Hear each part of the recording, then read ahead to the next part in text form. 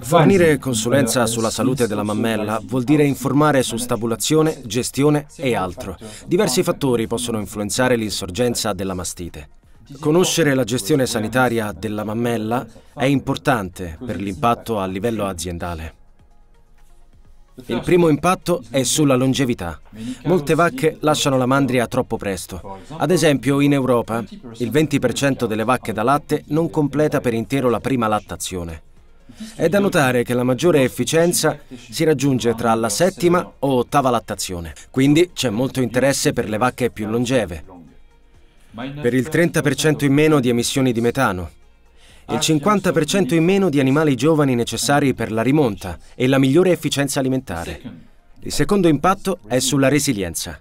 Oggi il 30% delle vacche da latte in azienda soffre di zoppia, mastiti, chetosi, eccetera. Poiché tutte le malattie sono correlate, è importante un management che aumenti la resistenza alle malattie. Poi ci sono i costi. Si possono fare diverse stime sul costo della mastite, ma generalmente si parla di 225 euro per ciascun caso. La gran parte non è data da costi diretti, come quelli per il trattamento, ma da costi indiretti, cioè il costo del latte scartato e i costi di produzione. Andrebbero considerate anche le interruzioni nel lavoro quotidiano. Si stima che il tempo necessario per gestire un singolo caso sia di 4 ore totali. Inoltre, la probabilità di guarigione a volte è molto bassa e non conviene investire senza compromettere il benessere dell'animale. La consulenza deve avere una visione ampia per valutare tutti i parametri disponibili, seguendo l'approccio osserva, pensa, agisci. E infine chiedetevi chi ha il controllo. Il vostro atteggiamento è importante, ma lo è anche quello dell'allevatore. Sta puntando a ridurre la mastite nella sua azienda? Come reagisce di fronte a un improvviso aumento dei casi di mastite o delle cellule somatiche del latte di massa? Il 60% degli allevatori non chiama il veterinario quando hanno un focolaio di casi di mastite. La metà di loro sa che c'è un problema, ma non sa come risolverlo. L'altra metà non vede il problema e non pensa alla soluzione. Quindi c'è tutto lo spazio per progredire, ma in modo proattivo, più che cercare di risolvere i problemi quando si presentano e l'allevatore vi chiama.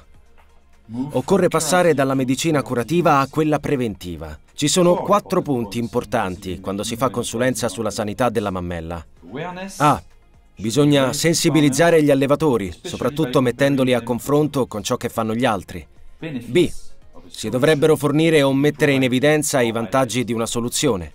C. I costi e gli sforzi necessari per implementare le raccomandazioni. D, così come tenere presenti gli svantaggi e le esperienze negative. Quindi A più B dovrebbero superare C più D per poter concordare con l'allevatore la soluzione più redditizia. Ad esempio, è stato dimostrato che il post-dipping, noto come efficace misura preventiva, ha un beneficio netto pari a 0 euro perché la riduzione delle perdite è compensata da un aumento delle spese. Un altro esempio, mungere le vacche infette per ultime. Ha un beneficio netto negativo, poiché le spese aggiuntive superano ampiamente la riduzione delle perdite. Come scegliere le soluzioni più appropriate? Più informazioni avrete, più sarete specifici. Sul management. Si punterà a diminuire il numero di nuove infezioni o la durata delle infezioni esistenti, se l'obiettivo è ridurre rapidamente la conta delle cellule somatiche. Le dinamiche dell'infezione vi aiuteranno a capire meglio l'insorgenza di nuove infezioni intramammarie e la percentuale di infezioni guarite. Servono dati sulla conta delle cellule somatiche e dati sulle mastiti cliniche. Anche l'origine delle infezioni è importante durante l'asciutta o in lattazione. I risultati degli esami culturali aiuteranno a identificare i patogeni presenti in allevamento. Insieme alle dinamiche di infezione contribuiranno a definire un modello epidemiologico da contagiosi oppure da ambientali. Tutto questo avrà un impatto sulle misure più efficaci da proporre agli allevatori.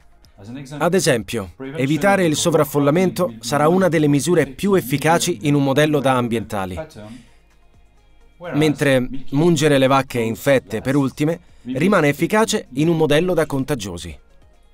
È importante arrivare a un accordo con l'allevatore affinché sia disposto a implementare le misure proposte. Infine, per chiudere il cerchio, avere una visione ampia è fondamentale per fare una consulenza efficiente. Adottate un approccio olistico.